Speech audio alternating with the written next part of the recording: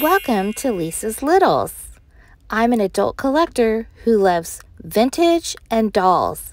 So come join us. Let's have some fun. Hey guys, welcome back to our channel. Happy Halloween, everyone. Today is Tuesday, October 31st. Can you believe it? It is already Halloween. I tried to make a spooky scene for you guys, so hopefully it's not too dark. But as you can see, I mustered up the time and energy to dress four babies for Halloween. No, I did not get all of them dressed. I only had a couple of more costumes, but two of them wouldn't fit the other babies, and one of them was a Minnie Mouse outfit, but I kind of ran out of room. I have limited space to put them, so as you can see, I have Lily dressed as a pumpkin, Mia dressed as a pumpkin, Lucas dressed as a mummy, and poor little Emma kind of covered up by our glowing pumpkin. She is a little skeleton.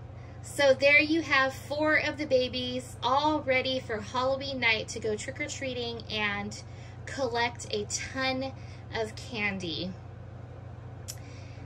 Now, Mia does not have a shirt on underneath. No, she doesn't because you guys, right now in my room, it is 77 degrees and I only have my overhead fan on. I don't have the air conditioner going, but our high today was in the low 70s. We have 70s for the next few days and then we drop to the 60s.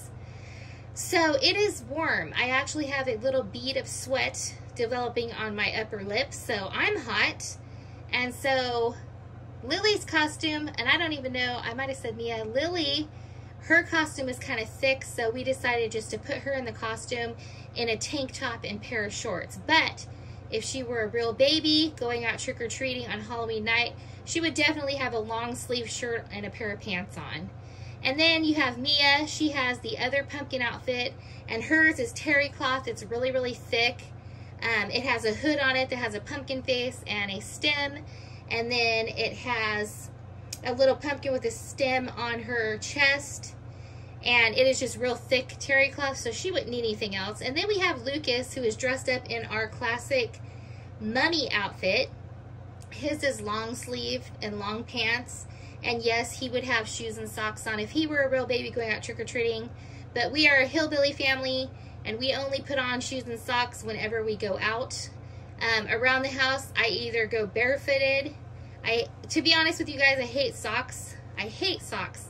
I will wear socks with shoes, but I don't like wearing socks like around the house or anything. I'm a hillbilly. I grew up as a hillbilly. I'm still a hillbilly.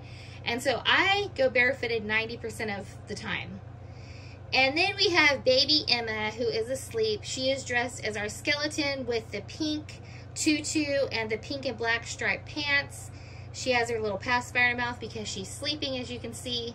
But yeah, we wanted to come on and say happy Halloween from all of us at Lisa's Littles. We hope that you guys all have an amazing Halloween night.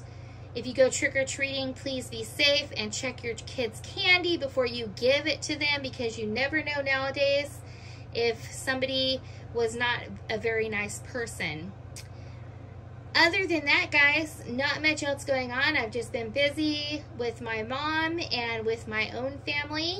And so I have been coming on whenever I can to give you guys like an update or a video. But I did want to come on because I did not want to miss an opportunity to make a Halloween video and at least dress up some of the babies. And like I said, I mustered up the strength and the time to dress four babies for Halloween. So there you have it. Lily, Mia, Emma, and Lucas.